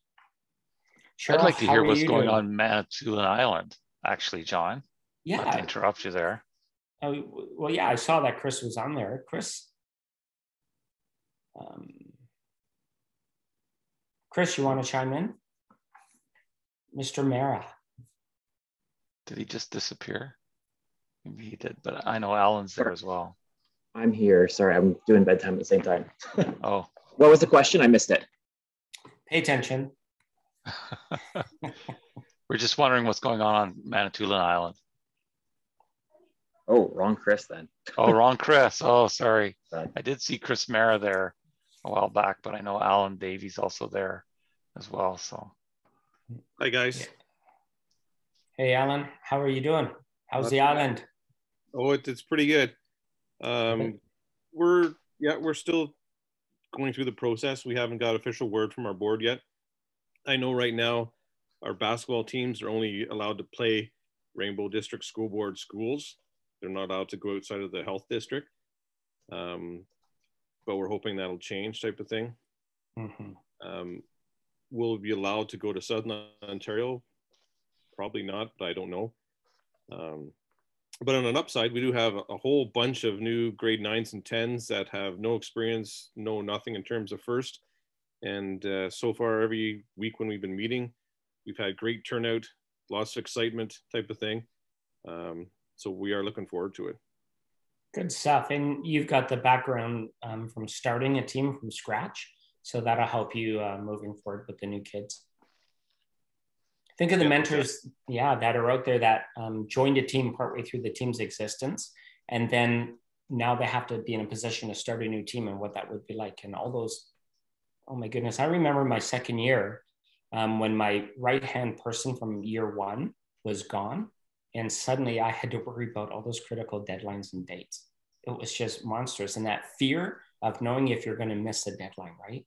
And uh, then, of course, as you get more experience and you start working towards the uh, higher achieving awards like chairman's, and uh, is the essay done? Has it been proofread a thousand times? Does it meet the right number of characters? Does it create the essence of what you want to communicate compared to the essay? And then did it get submitted on time? All of those pieces. Yeah. So. I guess one of the things uh, John, is that uh, obviously travel is our biggest expense. Same with Chris Mara and all the Northern Ontario teams. So that's one thing we do have to take into consideration. Mm-hmm. So I'm going to have to meet with our other mentors, our business people tomorrow, because they were looking this year at going after the chairmans. And so because it's only one award per weekend, um, yeah, we've got lots of decisions we still have to make is what it boils down to. Mm-hmm. and we'll, I'll be yeah. calling you or, or William to kind of get some advice on where we could go. That's that's pretty much it given, I think. No, and for sure. And yeah, and you know what? That that's the good point for everybody, right? Um, never pull the plug without talking to us, right? We're we're always going to do everything we can to help every team that's uh, out there. Yeah, and we're we're so fortunate. We also have like we have uh, Chris Mara, we've got Dan Monty from Sudbury, and we've got uh, 1305 we can always call on too. So it'll be uh, yeah, it, it's. I'm glad we're doing it. We can go back in person again because that's what the kids have been dying to see. The kids that got the one event experience from a couple years ago, they're just chomping at the bit to get more experience, type of thing. And uh, so yeah, it's so. We're all so happy just that there's an opportunity to have in-person events, type of thing. Mm-hmm. So, Excellent. Thanks, thanks for all the work you guys are doing, you folks at first. Well, uh, we appreciate that, and you know, it, definitely, it's not easy. Uh, it's not easy to try to get out ahead of something that's this massive in terms of shifting to th- these one-day events. And um, we know that you all know that um, we're not going to just make a rash decision without a lot of thought being put into it. And um, boy, I, I just think you know, if we were to say hey, whatever, let's just go with what we've got and run the two day events. And then things get a little bit worse. And then uh, teams do finally want to register at the last minute and there's not enough spots. And it's just an unworkable formula to operate that way. So we had to be proactive and do what we can. And the one thing we can assure you is the experience is going to be very rewarding no matter what. Yeah, and, and we, we totally appreciate the fact that no team will be left out. That's that's awesome. Absolutely. Hmm. Okay. Ah, okay. If anyone else, Paul, uh, William, any uh, closing remarks by you guys? Um, anything they need to know other than get your sleep and get up and select those events? Contact us anytime. Yes, we're very glad to Don't- hear from you. don't be shy. To work with you, and uh, we also hope to include every single team uh, in the events in terms of getting through their requirements of their boards or their communities uh, safely and yet uh, getting them on the field and ready to play. Yeah, and um, a reminder, you know, William mentioned earlier about the uh, the coding um, sessions that start this Monday, yeah. but then it alternates with mentor meetings too. So keep those mentor meeting going, uh, attend those things, and send information ahead of time. And if you're especially good at something, a key thing that you're better, you know, um, we all have our gaps, right? So there's some things that you're really good at. Uh, let William know that you would like to share um, with the mentor group something about whatever it is you do really well and you know has worked well for your team. Because the I think, you know, for all of us to be the best that we can be and do whatever it takes to be the best we can be, it just helps all of us be better. And you, you all know that those have had a chance to go to Worlds. It's magical when you see how the Canadians band together to support whatever team is going through the ranks towards the finals there. It's just absolutely incredible. Right, Lisa? Lisa would be one of the ones that knows that the most from the last so many years because of uh, was it 2018? Was it that long? 19. 19, yeah, on Einstein. How remarkable. Yeah, can't lie. That was pretty cool. Having like, I know all the Canadian teams are out, but then everyone just like swarmed to help and yeah. to like cheer, like just the whole floor. You just had all the Canadian teams on the floor just cheering and everything. It was great. And it, I'm so you know, excited also... to see robots and see everyone compete. Oh, yeah. Like, oh, yeah. so excited. Yeah. Wouldn't it be great if they did, uh, you know, we did the mini bot one year. What if we did the uh, FRC game with an FTC mini bot, like an FTC robot no. sidekick? No more. No, no, no, no, no, no, no, no. No more mini bot. Big robots oh, or small robots. Don't mix them. You don't want to see an FTC robot climb up a no. pole and fall down and crash. No, yeah. because I don't want to see the FRC robot driving over the the FTC mini bot. That like no no no no no. Too much too much chaos. Yeah. Do not like yeah. hurt robots. This is this is not not entertaining. It's not fun. Someone spent a lot of time making that little thing and then it just gets crushed. Rishi oh. agrees. Rishi agrees. I, I know. I'm, I'm looking at the chat. It's hilarious. Um, there's an interesting question about curriculum. As the entire high school curriculum has some kind of connection to FRC, uh, some courses more than others. I wonder if uh, Lisa may comment on that as you're part of that F- FTC team that's doing that development. Um, I'm gonna hand this off to John because he knows more about this than I do. Okay, I'll, I'll do what I can, Lisa. Um, so okay. let's compartmentalize the curriculum. So we got elementary and secondary, right? And secondary is uh, a very, uh, if I can use the term diverse animal. There's just so many components in secondary.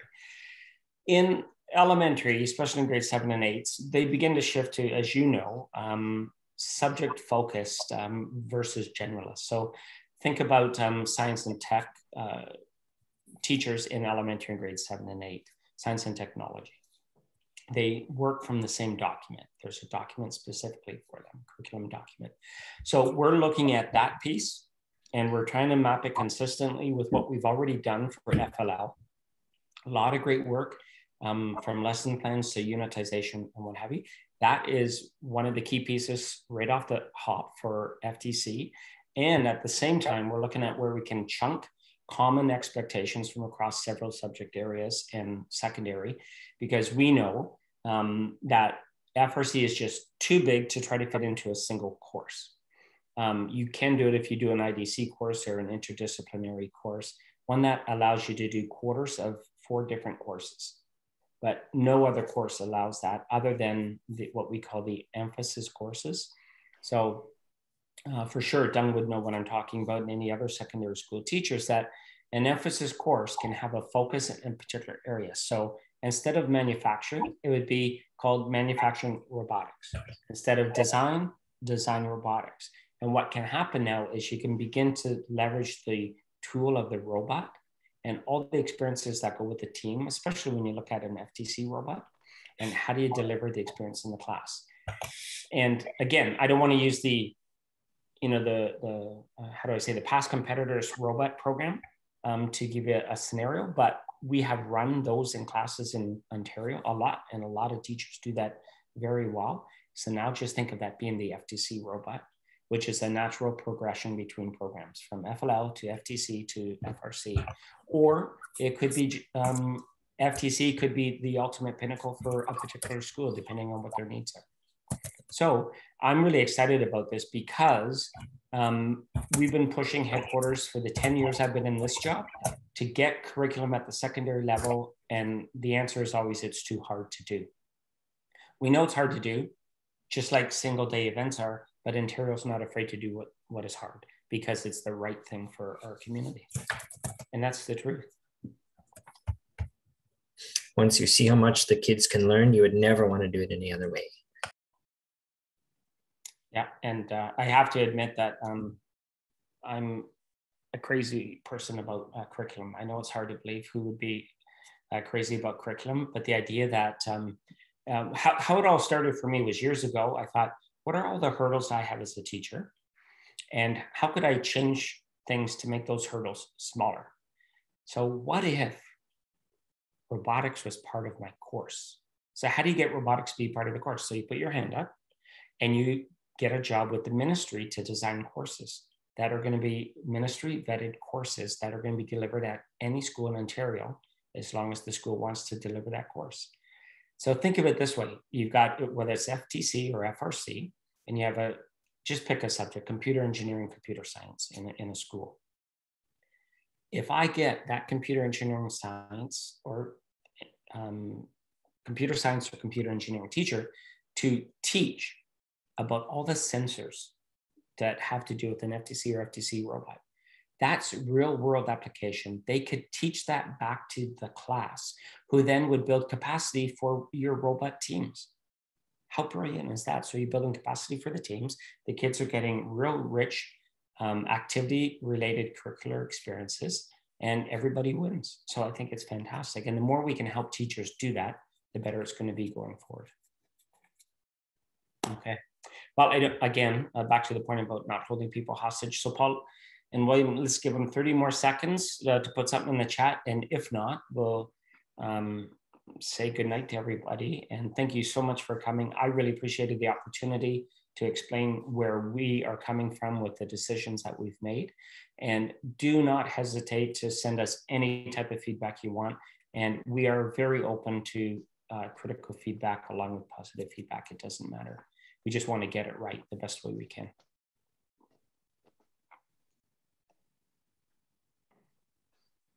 Okay. Thank you. All right, good night, everybody. Good night, everybody. Thank, thank, you so much. Take care. Bye now. Good night. And Roland, we did, um, I don't know if we're